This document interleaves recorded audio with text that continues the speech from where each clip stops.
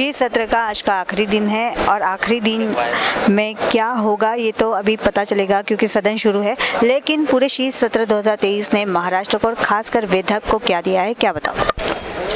देखिए, यह शीतकालीन सत्र जो महाराष्ट्र का नागपुर में हुआ, आज उसका अंतिम दिवस है।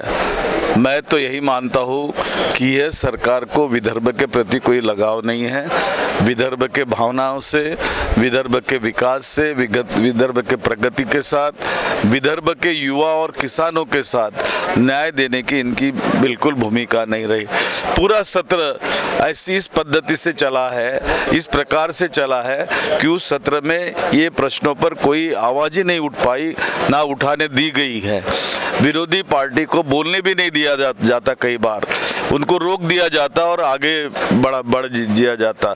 तो इस प्रकार से जो रवैया है सरकार का वो रवैया ये लोकतंत्र के खिलाफ है। मैं इस शीतकालीन सत्र से उदासीन हूँ। जिस तरह से आपने बताया कि विरोधकों को बोलने का मौका नहीं दिया जाता लेकिन सत्ता पक्ष के कुछ विधायक है उन्होंने कहा है कि विपक्ष के जो विधायक है वो सदन में उपस्थिति नहीं रहते। कितनी संख्या उनकी है ये भी उनका एक सवाल है। यह तो बात सरासर गलत है। अभी भी आप सदन में देखेंगे तो विरोधी पार्टी के विधायक पूरी तरीके से वहाँ मौजूद है।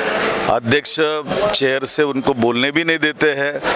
अगर उनका क्रम नहीं आएगा, वो अगर बीच में पॉइंट ऑफ़ इंफॉर्मेशन बोलेंगे या हमको हरकत है, ये बात बोलेंगे और उनको अगर बोलने नहीं दिया जाएगा और विधायकों का अगर मुँह बंद करने की कोशिश अगर अध्यक्ष के चेयर से होती होगी तो ये लोकतंत्र के खिलाफ है और वो चल रहा है। पूर्व मंत्री नितिन राउत ने इस शीत सत्र को लेकर नाराज़गी जताई है। कैमरा पर्सन अजित कुंवर के साथ क्षितिजा देशमुख बी न्यूज़ नागपुर।